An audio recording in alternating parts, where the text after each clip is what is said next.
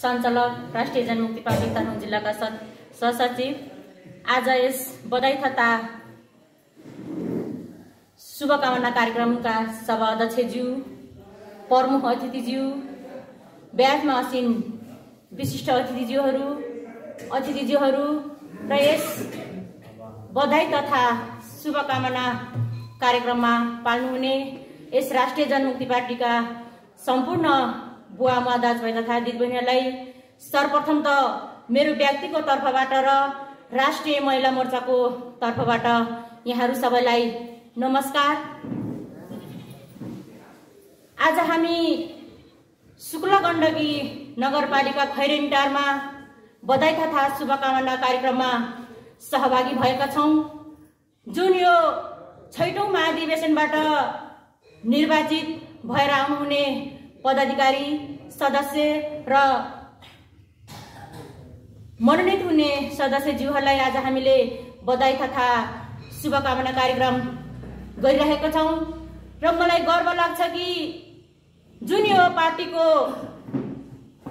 विचार र नीति अत्यन्तै सबै खालि यस यहाँ रहने हामी नेपाली जनताको लागि सबैलाई मिल्ने जुन विचार र नीति जुन यो पार्टीको रहेको छ र मलाई गर्व लाग्छ यो पार्टीको नीति र विचारलाई हामीले अगाडि बढाउँदै गर्दाखेरि जुन यो पार्टी सत्तामा नपुगे पनि विचार र नीति हाम्रो सत्ताभित्र छिरिसकेको छौँ र हामी कहिल्यै पनि आफ्नो पार्टीलाई सानो नठान्नुहोस्।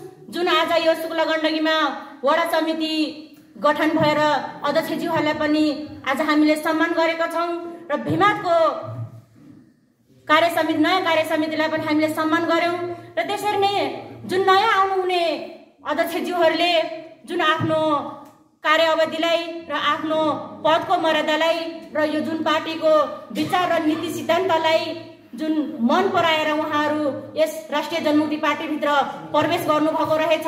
मलाई खुसी लाग्यो म हिजो त्यो कार्यक्रममा जान सकिनँ। र तपाईँ तपाईँ हामी अब कहिल्यै पनि यो पार्टी सानो छ र यो पार्टीले केही पनि गर्न सक्दैनौँ भनेर तपाईँहरूले त्यो सानो चिन्तन मनन नलिनुहोस्। आज हाम्रो यो पार्टीले धेरै अगाडि बढिसकेको छ। त्यस कारणले आज मलाई खुसी पनि लागेको छ। यहाँ धेरै महिला दिदीबहिनीहरूलाई सहभागी देख्दाखेरि हो साँच्चै नै आधा आकाश हामी महिला दिदीबहिनीहरूले ओगटेका छौँ र फेरि महिला दिदीबहिनीहरू धेरै सङ्ख्या भए तापनि हामी एकदम घरभित्रको चुलो चौकसमा रुमलिरहेको महिला दिदीबहिनीहरू छ। त्यस कारणले अब हामी महिलाहरू आफ्नो चुलो चौकसलाई मात्रै सीमित नदिएर हामी महिलाहरूले आफ्नो चुलो चौकासलाई टाइम निकालेर त्यो चुलो चौकासको काम सकेपछि आफ्नो अधिकार र आफूले गर्न सक्ने कामहरूलाई पनि तपाईँहरूले टाइम दिनुहोस्। जुन म पनि एउटा महिला नै हो मैले पनि यहाँभन्दा पहिला म जुन ठुलो पार्टीमा मैले जानेर लागेको होइन रहेछु म जा नजानेर म ठुलो पार्टीमा म बसेर मैले मेरो उमेर नपुग्दाखेरि पनि मैले नेपाली काङ्ग्रेसलाई मैले पाँच पटकसम्म भोट दिएको व्यक्ति म आफै हो र मेरो माइती पनि यही नजिक नै पर्छ यो शुक्ला गण्डकीको नजिक नै पर्छ म्याग्दे गाउँपालिकामा हो।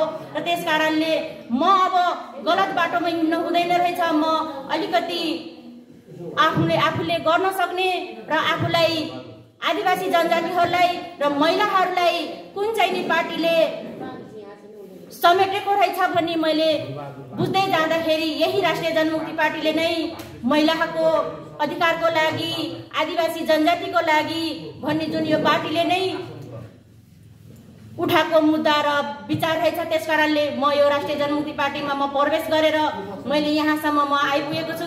त्यस कारण सम्पूर्ण महिला दिदीबहिनीहरूलाई म के भन्न चाहन्छु भने अब तपाईँ हामी घरभित्र मात्रै नरहेर आफ्नो समयलाई बाहिर पनि जुन यो पार्टीलाई र बाहिर काम पनि तपाईँले बढाउँदै अगाडि बढ्नुहोस् भन्दै जुन आज सम्मानित हुनुहुने सम्पूर्ण व्यक्तिहरूलाई बधाई तथा शुभकामना दिँदै म यहाँबाट बिदा हुन चाहन्छु। हस्त धन्यवाद। जय राष्ट्रिय जनमुक्ति पार्टी जिन्दाबाद।